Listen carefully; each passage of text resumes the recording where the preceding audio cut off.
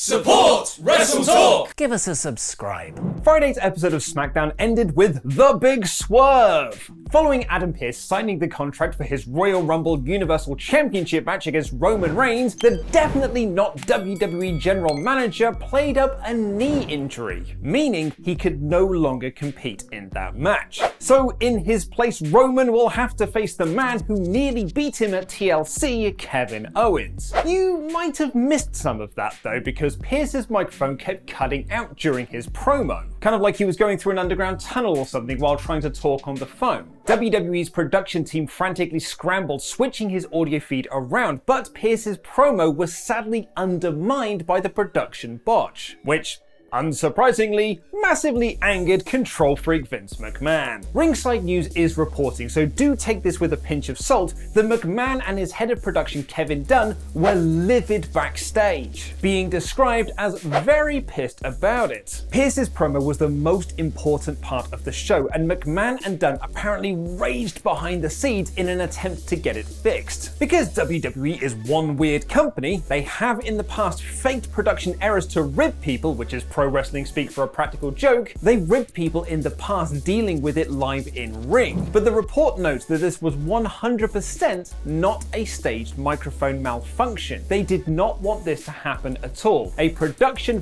up to say the least. That's very rare around here in WWE. McMahon's control freak tendencies have been tested to the limit during the pandemic, which has seen WWE have to delay or drop numerous long-term plans, which they do when they're not in a pandemic, but this time it's not just because Vince decided he doesn't like Angel Garza anymore. So to get ahead on the corona, not only has WWE's pay-per-view schedule for the next three months been potentially revealed, WWE themselves have also announced the next three years of WrestleManias. On Saturday, WWE officially announced that this year's WrestleMania 37 will take place at the Raymond James Stadium in Tampa Bay, the pirate-themed venue that was originally meant to hold last year's WrestleMania 36, before that was moved to the Performance Center, hopefully meaning we can finally get that big giant pirate ship set, and they have also announced it will again take place over two nights, Saturday the 10th and Sunday the 11th of April. This has been pushed back from from the originally planned date of Sunday, the 28th of March. Also, according to the press release, WWE is hoping to have actual fans live in attendance for Mania 37, with them set to announce ticket information soon. This could be why the date was pushed back by two whole weeks. Hoping for the old normal back by 2022, WWE also announced WrestleMania 38 will take place on 3rd of April in Arlington at the AT&T Stadium, where they previously broke their kayfabe attendance record of 100 101,763 with WrestleMania 32, which is probably so they can boast about having the biggest live attendance in a post-coronavirus world. And then on April 2nd, 2023, WrestleMania 39 will take place at the SoFi Stadium in Los Angeles, which was originally booked for this year, with a Hollywood theme to be headlined by Roman Reigns versus Rock the Dwayne Johnson. Rock will be 50 years old by that date, which is relatively spring chicken compared to some of WWE's usual top top contenders, I'm sure he'll be fine to go. WWE's resolution for 2021, meanwhile, is to do all of the pay-per-views again.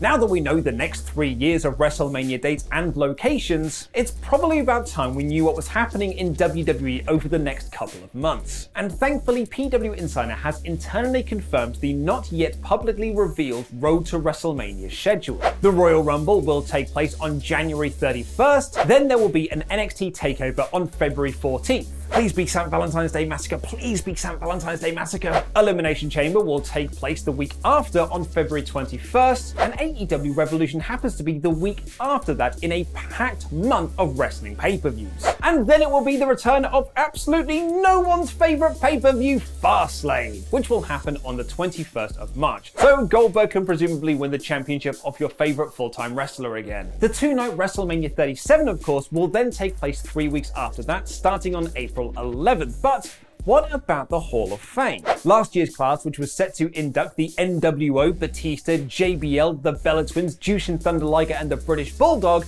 never ended up happening. And now the Wrestling Observer is reporting current plans are to have the ceremony happening virtually with no fans in attendance, which is probably a good idea to shield generally aged performers away from traveling and social distancing and all that sort of stuff during a pandemic, because you wouldn't want to theme an entire episode of TV around that now, would you? It's presumed that the ceremony will induct the 2020 class rather than inducting any new inductees. But WWE isn't the only promotion holding pay per view events, as this past weekend saw Impact Wrestling's first big show of the year, the very newsworthy Hard to Kill. Almost every match had a larger wrestling business story attached to it. Fire and Flavor, made up of Kiera Hogan and Tasha Steelz, won the tournament finals to crown the revived Impact Knockouts Tag Team Champions, which is a great idea for a division that is so loaded with so much talent. Matt Cardona, the former Zack Ryder in WWE, made his surprise Impact debut, beating Ace Austin via DQ when Madman Fulton got involved. Fightful Select is reporting that Cardona will be working this week's Impact tapings, but doesn't have a full-time contract with the promotion. Cardona was last seen in AEW back in August after being released by WWE in April. While everyone kind of figured it out already, X Division champion Manik was unmasked to reveal it's actually former WWE Cruiserweight champion TJP. He retained the X Division championship in a three-way match. Deonna Purrazzo made Taya Valkyrie tap to retain the Knockouts championship and then called out wrestlers from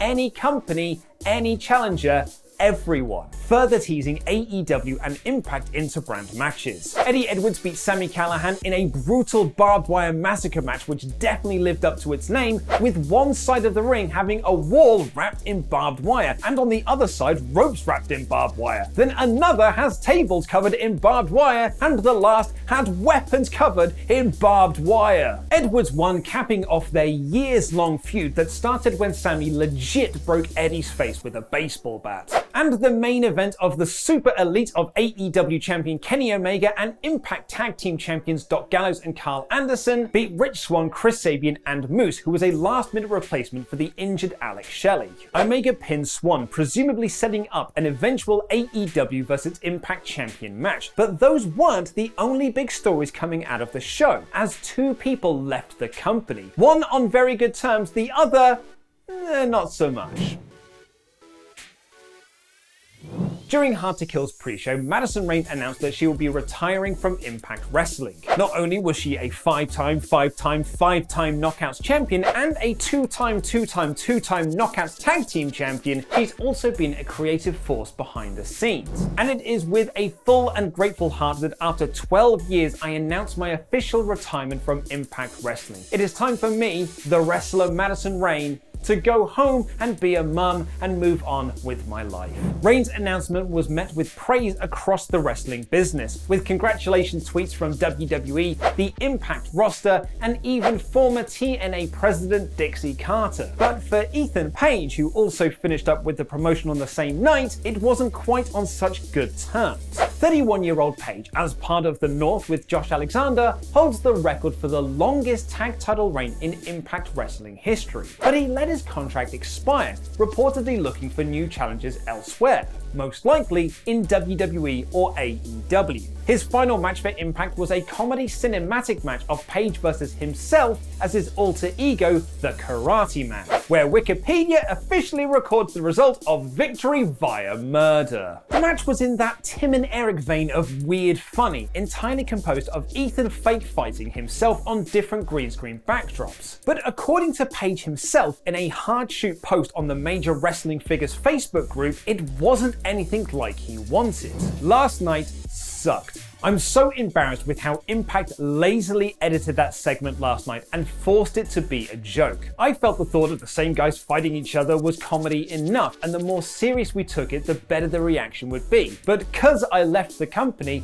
they lied to my face and just did what they wanted the whole time. I'm sorry if any of my fans paid for that pay per view felt cheated. I honestly feel the free version I gave away was made with more love, care, and attention to detail. Sadly, I had no control over the creative or the final product, and the editor refused to send it to me beforehand. So I saw it live with you guys and I was surrounded by family, all scratching their heads at that high school project level delivery on a pay per view. I pray people know I didn't edit that hot garbage. I actually even begged Impact not to even have Karate Man on TV. I only wanted it to be on my YouTube channel, but we don't write the shows. We just get the scripts and do our best. What else to say? Breaks my heart this company refuses to respect its talent or its fan base on a regular basis. I was lied to, I was hurt, I was disrespected, and I need a break from it all. But according to Fightful Select, Page wasn't the only one who'd had enough with the relationship. Apparently, Page wanted his Karate Man character and match to be more like Matt Hardy's final deletion match. But Don Callis balked that he felt no matter how many times people tried, they won't top the original Broken Universe, thinking it worked more as a self-aware, goofy presentation. Don's fellow co-executive vice president Scott D'Amore, however, pretty much washed his hands of it. He was pretty angry with Page as the original idea of Ethan's departure was for Josh to beat him and start Josh's establishment as a guy. Would you like to know more about the history and context behind Roman Reigns' tribal chief character? Then click the explain video on the right where Laurie Blake details what makes it work and the fascinating Samoan cultural history behind the character. And what's going on with Randy Orton and the Royal Rumble? Click the other video below that. Subscribe to Wrestle Talk for more daily video content. I've been Luke Owen. Jam that jam.